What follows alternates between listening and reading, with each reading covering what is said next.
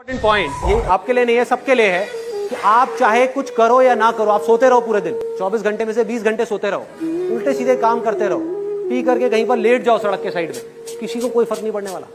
इस दुनिया को कोई फ़र्क नहीं पड़ने वाला। लाइफ या तो आपकी बनेगी या आपकी खराब होगी। सबसे पहले इस चीज़ को समझना है। अपनी लाइफ की रिस्पॉन्सिबिलिटी खुद लेनी है।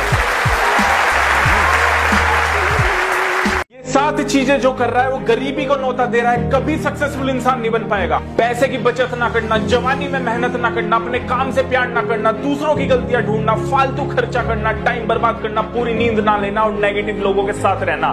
किसी के पैरों में गिरकर कामयाबी पाने से अच्छा अपने पैरों पे उठ के खड़े हो और कुछ करने की ठान लो।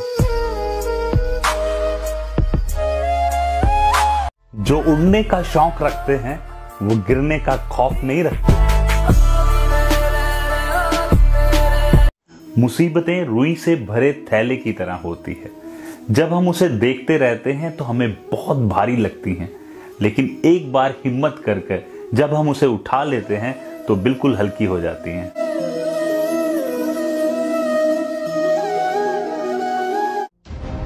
अगर आप किसी के कहने की वजह से अपने काम को बंद कर दिया तो इसमें किसका नुकसान है? सिर्फ़ आपका।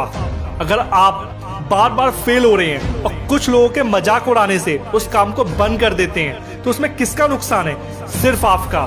दिखा दो लोगों की औकात और आप क्या कर सकते हैं उनको बता दो। और तब तक मत रुकना जब तक आपको सफलता मिल ना जाए।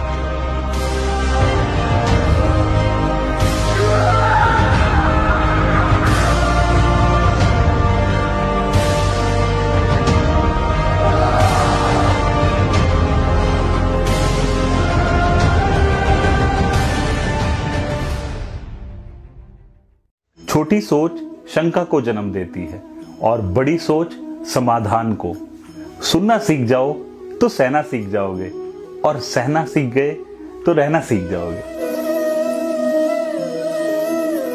जो व्यक्ति आपको नीचे गिराने की कोशिश करता है, उस पर गुस्सा नहीं, तरस खाए, क्योंकि वो व्यक्ति तो ऑलरेडी आपसे नीचे है।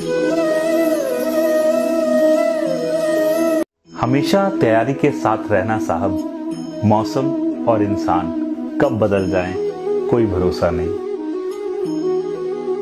कुछ तो लोग कहेंगे लोगों का काम है कहना। ऐसे फालतू लोगों को साइड में रख के हमारा काम है आगे बढ़ते रहना।